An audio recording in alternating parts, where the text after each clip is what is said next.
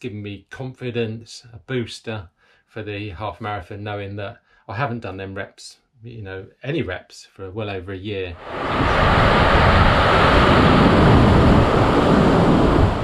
Hi, I'm Chris and welcome to part two of the weekly training vlog, training for the Farnborough Half Marathon and the Brighton Marathon.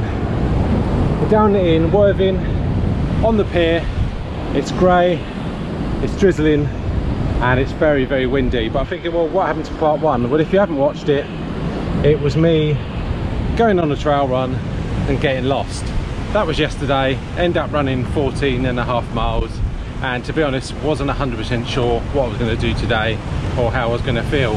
So as I said on that video I'm going to be mixing things up slightly this week by changing days and adding in some 1k repeats which I'm going to be doing on Friday.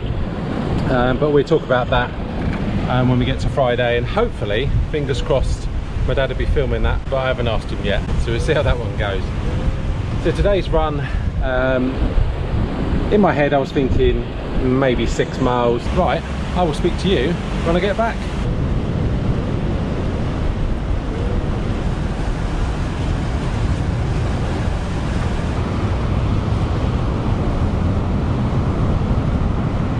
So run done stuck to the plan six miles end up running at 820 pace. But I thought I'd play it safe. You know there's no point of being stupid. That's about 21 miles or just under in two days but the number I need to look at is time on feet because that's three hours 10 minutes which is a lot longer than I'm used to. So definitely going to take tomorrow off because I think it's important to give my legs time to recover um, especially I'm doing that speed session which I'm really looking forward to.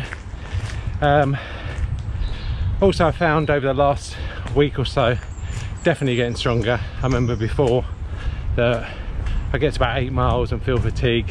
That doesn't seem to be happening anymore.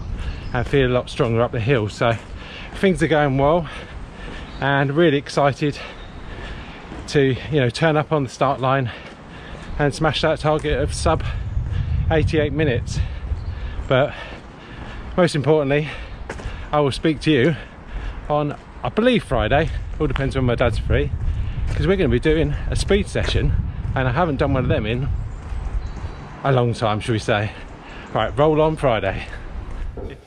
Morning. So it's Friday fantastic news. My dad's agreed to film on his bike which obviously makes for a little bit better content. So we're going for six 1k repeats with three minutes recovery. Um, hoping to run them about 330 per k.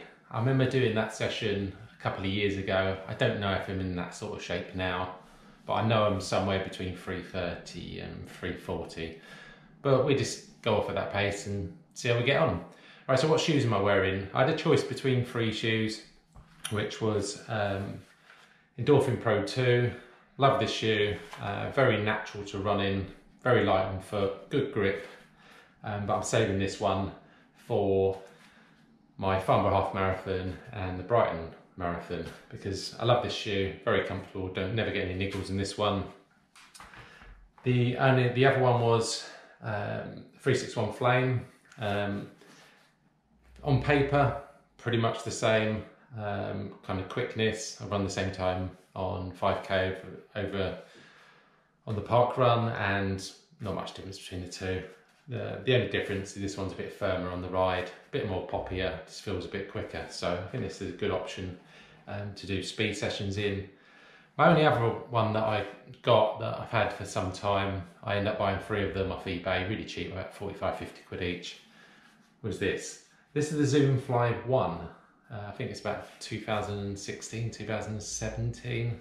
This is the SP version, very lightweight, not much to it, see-through, fantastic looking shoe. So I've got this in three colorways and I did actually run my fastest 5k of 1756 I believe in this shoe a couple of years ago. So technology hasn't come along that way. Yes, probably over the longer distance it probably comes into its own play, but this is a shoe um, that I do love. It's a bit wet outside. Perfect day though, because it's dry now, no wind, about 10 degrees. The shoe I'm going to go with is the 361 Flame.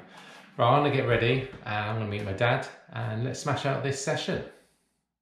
Right, so the video you're watching now is actually the last rep. Um, with my dad filming on the bike. I thought this was the best one to upload and I'd just be talking through it while you're watching it. So it's always good to see the last one when I'm struggling.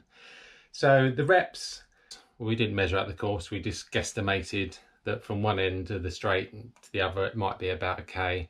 We ended up guesstimating slightly wrong and end up having to run around the corner. to where you saw at the start of the video, we're in a kind of uh, residential estate and then we head on to a, a, nice really nice flat bit of road. And depending on which way I went I'd have the wind behind me or against me. So I knew that the sessions two four and six were going to be slightly harder because I would have the wind against me. So how did it go? Well the first one was at 336 in my head I would like to run them all at 330 and the reason being for that is that previously, probably a couple of years ago, because I haven't done reps in well over a year, I run them, I think in my mind, at 330 for six. Might have been wrong, but who knows.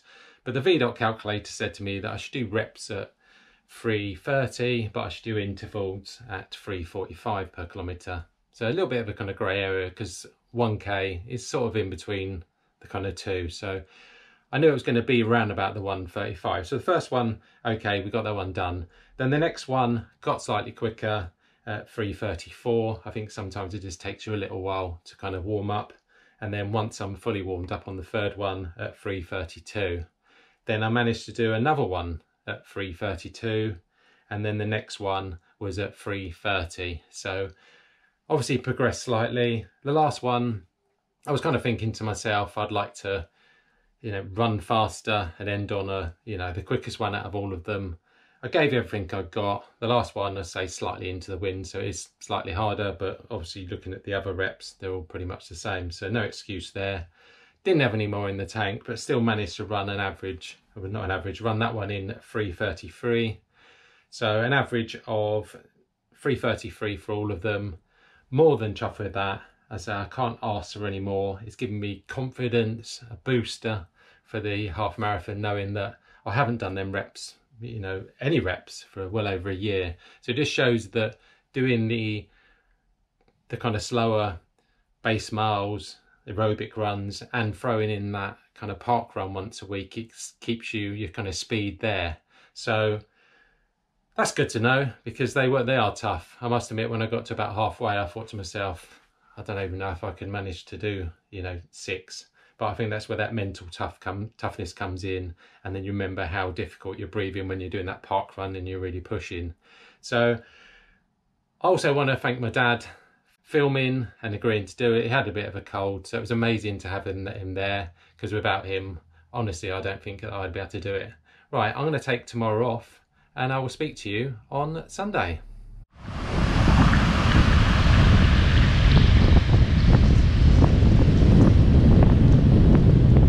So just back from the run, very windy out there today. It's Sunday, week done and dusted. We'll talk about my run in a second. So I was thinking back to when I did the 1k repeats and I looked back from my training because I wanted to find out if I'd actually done uh, six at 330 pace. And so I found some training that I did on my videos. It was two years ago and I did run an average of 330s with the three minutes recovery in between each session. But I only actually did five. So think back to what I did this week. You know six averaging 330 with a three minutes recovery. I'm actually in better shape than I thought which is you know amazing news and you know puts me in good stead for this race. So have you got a favorite interval session? Let me know down in the comments. Right so today's run I had around about 10 and a half miles to finish off another 40 mile week so I thought I'd just stick with that. Um, managed to do 10.6 miles at 8.09 pace. And it's a good time on feet this week. Another 40 mile week done and dusted five in a row. We all know that consistency is king and honestly can't wait for this half marathon. You know I'm feeling great I'm in great shape and there's only one way up from here and that's onwards and upwards. Speak to you soon. Cheers